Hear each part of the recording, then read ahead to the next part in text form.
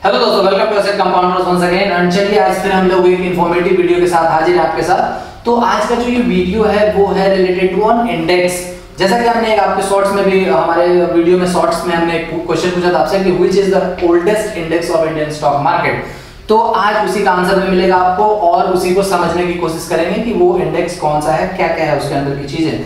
तो यदि बात करें हम लोग तो सबसे ओल्डेस्ट जो इंडेक्स है, वो इंडेक्स कौन सा है? वो इंडेक्स है सेंसेक्स सबने नाम सुना होगा सेंसेक्स सेंसेक्स ओल्डेस्ट इंडेक्स है। अब इंडेक्स इंडेक्स हम लोग बार बार बोल रहे हैं इंडेक्स क्या होता है? पहले इस चीज़ को समझने की कोशिश करते हैं कि इंडेक्स क्या होता है। तो इंडेक्स को समझने के लिए सबसे पहले हम अपने बुक्स पे जाएँगे। किसी भी बुक को आप उठाते हैं, सबसे पहले उसके अंदर क्या मिलता है आपको?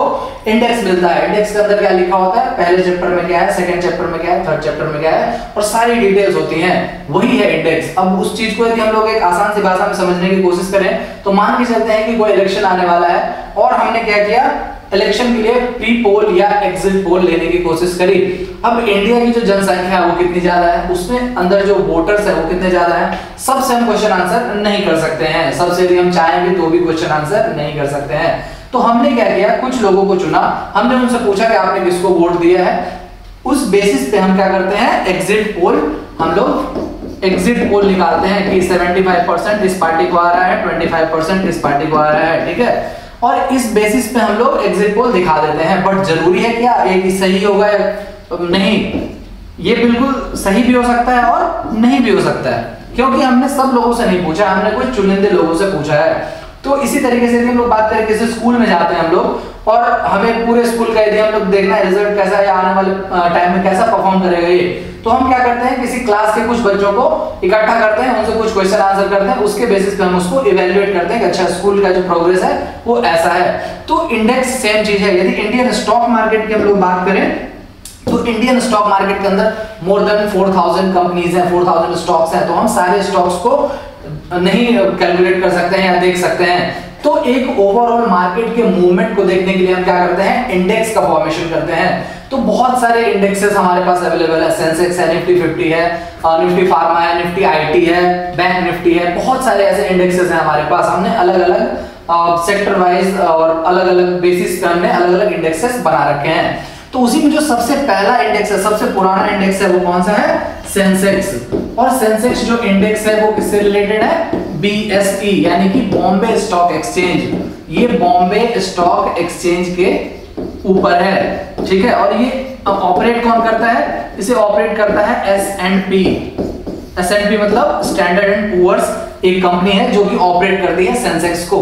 अब सेंसेक्स क्या है? सेंसेक्स के अंदर जो चीज़ें हैं वो क्या है? तो सेंसेक्स के अंदर जो टोटल नंबर ऑफ़ कंपनीज़ होती हैं, जो सेंसेक्स का नंबर ऑफ़ कंपनीज़ की यदि हम लोग बात करें तो इसके अंदर कितनी कंपनीज़ होती हैं? इसके अंदर 30 कंपनी होती है। कितनी कंपनी होती है? 30 30 कंपनी होती है इसके अंदर। अब ये 30 कंपनी कौन सी होती है? क्या मेरी फेवरेट कंपनीज़ होती है 30 नहीं। या किसी की फेवरेट कंपनी होती है 30 नहीं। ये क्या होती है? परफॉर्मेंस के बेसिस पे ये 30 कंपनीज़ चुनी जाती हैं। अब ये 30 कंपनीज़ जो चुनी जाती हैं, उसका क्या बेसिस है 30 कंपनी जो ये होंगी टॉप 30 कंपनीज़ जो होंगी, वो कैसे चुना जाएगा? तो उसको चुनने के लिए एक जो मेज़रमेंट है, एक जो कंपोनेंट है, वो क्या है? फ्री फ्लोट कैपिटलाइजेशन क्या है वो?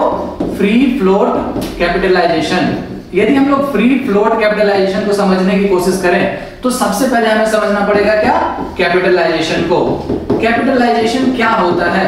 कैपिटलाइजेशन होता है total number of share total number of shares multiplied by current market price of the share ठीक है? तो यदि किसी कंपनी के हम मान के चलते हैं कि 100 शेयर्स हैं मार्केट में, और अभी उसका प्राइस चल रहा है 50 तो इसका कैपिटलाइजेशन कितना हो गया? 5000 ये हो गया इसका कैपिटलाइजेशन अब बात आती है कि कैपिटलाइजेशन से तो हमें मतलब नहीं हमें किसी से मतलब है? फ्री फ्लोट कैपिटलाइजेशन से। तो फ्री फ्लोट कैपिटलाइजेशन क्या होता है? यदि टोटल कैपिटल में से हम ओनर्स के कैपिटल को माइनस कर दें, यानी कि मान के चलते हैं, जैसे 100 शेयर्स हैं, इसमें से 30 शेयर जो हैं 30 शेयर किसके पास है? 30 शेयर्स ओनर्स के पास है, और जो 70 शेयर है, वो पब्लिक के पास है। ठीक है, ये ओनर के पास है और ये पब्लिक के पास है। तो यहाँ पे यदि हमें फ्री फ्लोट कैपिटलाइजेशन की बात करनी होगी तो हम क्या करेंगे? 70 को मल्टीप्लाई करेंगे 50 से, जो कि पब्लिक के पास है, यानी 70 इंटू फिफ्टी यानी 3500 3500 का जो है ये क्या है? फ्री फ्लोट कैपिटलाइजेशन है। तो फ्री फ्लोट कैपिटलाइजेशन उम्मीद करता हूँ आपको समझ में आया होगा। तो फ्री फ्लोट कैपिटलाइजेशन के बेसिस पे जो टॉप कंपनीज़ होती हैं, उनको हम लोग क्या करते हैं? सेंसेक्स के अंदर शामिल करते हैं। तो यदि अभी की बात करें करंट मार्केट की बात करें तो जो 30 कंपनी है, उसमें टॉप फाइव की हम लोग बात कर लेते हैं, समझने की कोशिश करते हैं। टॉप फाइव जो कंपनी है, वो कौन सी कंपनी है? सेंसेक्स के अंदर। क्योंकि जो ये कंपनीज़ होती हैं वेटेज वाइज होती हैं। एक नंबर पे जो होगा, उसका सबसे ज़्यादा वेट होगा, ठीक है? यानी सबसे ज़्यादा और महत्वपूर्ण होगा वो सेंसेक्स के अंदर। यदि सेकंड वाले की बात करें तो वो उससे कम होगा, ठीक है? यदि थर्ड वाले की बात करें तो वो उससे कम होगा। यदि फोर्थ वाले की बात करें तो उससे कम होगा और सबसे कम होगा पाँच वाला, और उसके नीचे उसी क्रम में घटता जाएगा। तो पहले नंबर पर जो कंपनी आती है, वो कौन सी आती है? Reliance Reliance free float capitalisation के मामले में पहले नंबर पे है तो रिलायंस को सबसे प्रथम पे रखा गया है सेंसेक्स के अंदर। यदि उसके बाद दूसरे नंबर की बात करें तो दूसरे नंबर पे कौन सा है? H bank H bank banking sector का लीडर है और काफ़ी ज़्यादा इंपॉर्टेंट है। तो सेंसेक्स के अंदर दूसरा जो वैल्यू है, वो किसका है? एचडीएफसी बैंक का है। यदि तीसरे नंबर पर हम लोग बात करें तो तीसरे नंबर पर हमारी जो कंपनी है, वो कंपनी कौन सी है? वो है इन्फोसिस आईटी की बड़ी कंपनी है इन्फोसिस ये तीसरे नंबर पर रखी गई है सेंसेक्स के अंदर। यदि चौथे नंबर की बात करें तो H housing development finance corporation bank नहीं है ये एच डी एफ़ सी है सिर्फ़। और यदि पाँचवें नंबर पे बात करें हम लोग तो कौन सी कंपनी रखी गई है? आईसीआईसीआई बैंक ठीक है? तो ये टॉप फाइव कंपनी है जो कि सेंसेक्स के अंदर अभी हाईएस्ट वेटेज रखती हैं। अब इसकी कुछ बात करते हैं हम लोग हिस्ट्री की।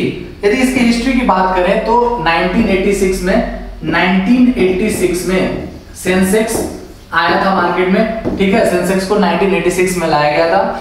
इसके बाद 1992 के अंदर 1992 के अंदर एक स्कैम आया था। हर्षद मेहता का स्कैम आया था, ठीक है? इस स्कैम के बाद इसमें एक बहुत बड़ी गिरावट देखने को मिली थी, लगभग कितनी? 12.7 परसेंट की गिरावट देखने को मिली थी, जो कि एक बहुत ही बड़ी गिरावट मानी जा सकती है। उसके बाद यदि हम लोग आगे चले और 2000 की बात करें तो 2000 यदि ईयर की बात करें हम लोग 2000 स्टार्टिंग यानी जैन 2000 की बात करें तो यहाँ पे जो इसका प्राइस था लगभग लगभग कितना था? सेंसेक्स का प्राइस 5000 के अराउंड था। और अभी चलते चलते सफ़र करते हुए हम लोग आ गए हैं 2021 में। और 2021 का भी चल रहा है अक्टूबर। और अभी जो मार्केट प्राइस है इसका वो कितना है? 61,000 क्रॉस कर चुका है। एग्जैक्ट यदि बात करें हम लोग तो 61,300 हो चुका है ये। तो 5000 से सफ़र करते हुए ये कहाँ आ गया? इकसठ हज़ार तीन सौ पे आ गया है। तो ये कुछ इसका सफरनामा था हिस्ट्री थी। यदि बात करें हम लोग, यदि ओवरऑल की यदि हम लोग 1986 से 2021 की बात करें 2021 की बात करें तो इसके अंदर यदि ईयर ऑन ईयर बेसिस यदि रिटर्न देखा जाए तो लगभग लगभग कितने परसेंट का रिटर्न देता है एनुअली अप्रोक्सीमेटली 15 परसेंट का रिटर्न इन्होंने एनुअली दिया है सेंसेक्स ने मार्केट में। तो ये सेंसेक्स के बारे में कुछ बेसिक डिटेल्स थी। हमने समझने की कोशिश की कि इंडेक्स क्या होता है, सेंसेक्स क्या होता है, इसके अंदर कितनी कंपनीज़ होती है। और ये कंपनीज़ जो होती हैं, वो वेटेज वाइज वैल्यू रखती हैं अपना। अभी टॉप की कंपनी कौन है इसके अंदर? और इसकी हिस्ट्री कुछ हमने देखी। तो ये सेंसेक्स के बारे में बेसिक डिटेल्स था।